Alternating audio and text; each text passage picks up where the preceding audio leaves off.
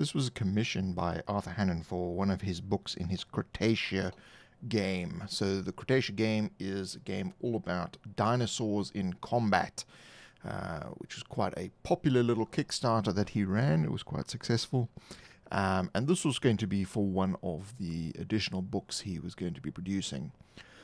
So I wanted to get the sense of there being a huge battle between several different dinosaurs happening, and um, so I wanted to get the major players. So you're the herbivores, the carnivores, and of course I added in the flying pterodactyl as well, which he hadn't put in the rule book. But anyway, so again, I started with the basic pencil work to um, get the shapes of where everything is. As you can see, um, the Triceratops, I, I, manipulated the size of his um, helmet headpiece thing. Um, eh, it was too small before, and I adjusted that. And then once I've got the details worked out in pencil, I then ink in everything. And this is one of the first times I was actually using a brush pen that I'd picked up in Japan. Um, and um, I've uh, come to love those as a uh, nice way to create line work, um, and I have several of them now. So the T-Rex, uh, as you can see here with his one leg, um, I was in two minds as to whether this actually worked. So you've got the Triceratops being pushed uh, out of the way with the uh, right leg of the um, which is the left side from the way you're viewing it, of the um, T-Rex.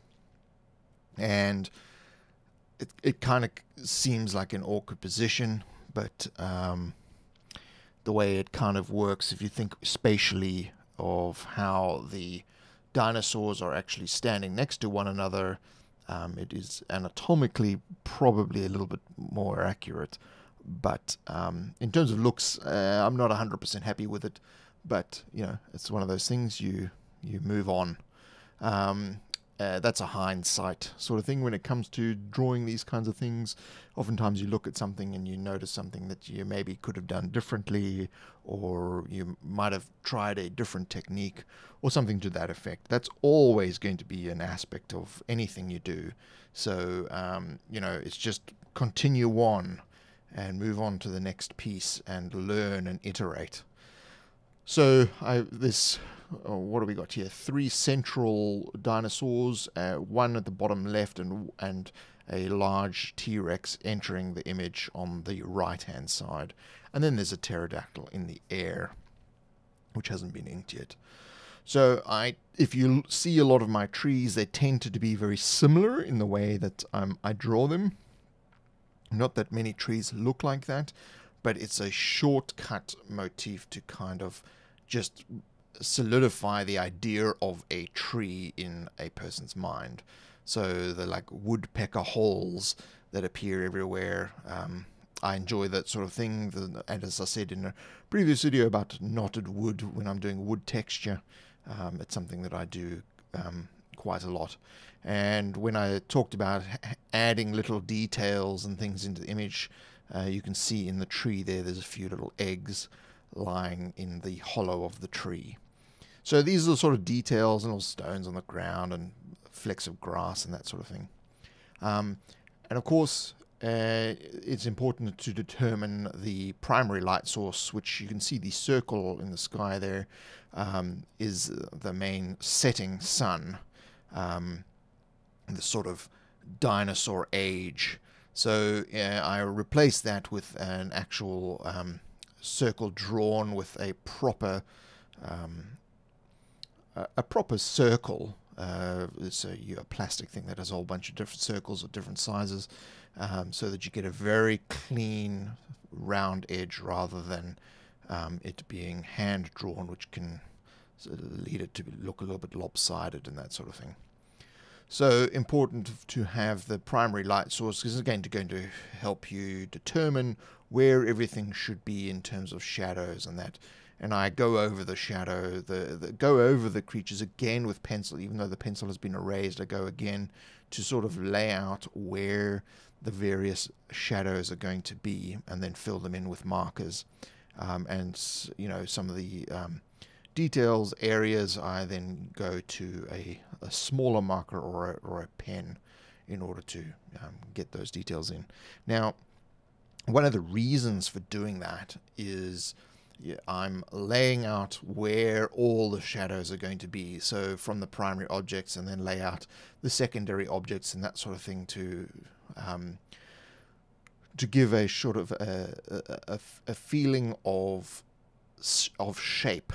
So the shadows help in terms of selling the idea of a three-dimensional object. Um, and I think this is very, very important. Uh, even though we've got one light source, you can imagine that there's actually more than one light source because it would the sun would be reflecting off other things that would be outside of the image and so that's why everything in the image is not exactly in shadow at the front now there's one or two little mistakes that do occur in this and I'll try to point them out as, as they go um, in terms of the dimensionality um, when you're doing an image like this uh, it's quite heavy on detail. So when you're doing uh, lots and lots and lots of different shadows on lots and lots of different spatially um, organic objects, um, it becomes quite difficult to actually track and remember where absolutely everything is. So you've got to be concentrate quite a lot on on making sure that you're um, keeping to the right motif and keeping to the right light source and all that kind of stuff. So there's one or two minor little problems in here um, that uh, I will touch on, but by and large, it's um, the light source is primarily from the sun in the sky, and the there's reflections of things that are not in the image. So I do a little bit of texture with the shadows, just to be, especially on the tree and things like that uh, where there's going to be some rough texture. But when we texture the actual dinosaurs themselves to differentiate them, um, then the texture will have slightly different um, look and shading to it that will kind of be blended into these block areas of, of shadow. So it's good to just block out the primary shadows first and then work on what's going to be um, you know how the edges are going to blend into whatever texture you're going to be using on the creatures or whatever it is that you're drawing. Um, and one of the primary things here, again, I always talk about how I want to get movement in the in in my images. Um, so you've got these dinosaurs, uh, the, you've got the scratch marks and the tears and the the sort of sense that the Triceratops is leaning to one side out of the under the weight of the fighting T-Rex, um, and the Velociraptor coming in, in the bottom left has got open mouth um, as it's um, coming into the scene. And there's not so much movement in the second uh, T Rex because that's basically used to frame the image. Um, and as I go through the um, with the marker in the background. That's I'm just doing a little bit of texture there to kind of differentiate the mountains in the back and the hills in the back from the foreground when we do the final texture layer. So it's looking pretty good as it is at the moment, but of course, you know, we, we want to go to a lot more because everything's kind of, you know, the same and we want to blend them in so one of the things I start with at the back and move forward, um, and I do a pointillist technique on smoke and clouds and things to get a particulate kind of feel to it, um, so that you that's uh, how you get the sort of densities. The more dots you use, the denser it is. The less dots you use, so you get basically light and dark patches. Um, and then I moved into a the look of scales. Now I did use photographic reference for scales to get different sort of scales of, to what should be used. Uh, I did use photographic reference for T-Rexes and Triceratops and also for the um, Velociraptors. Um, but they weren't in the poses that you see. So I basically had to design the pose um, thinking about the anatomy of the creature I saw in other images and build up from there. So th- uh, they were not exact replicas. Um, it was basically I'd use them for reference for how is the head shaped, uh, how does the neck work, how where are the arms and the legs and all that kind of thing. Now you can see the texture in the Triceratops is different, even though I'm using the same sort of texture as the T-Rex. The actual texture is different. So when you're planning out these sort of things, consider how the texture may actually differ um, and also how the light interacts with that texture as well, because that's going to help to differentiate your, your different objects um, within the actual illustration.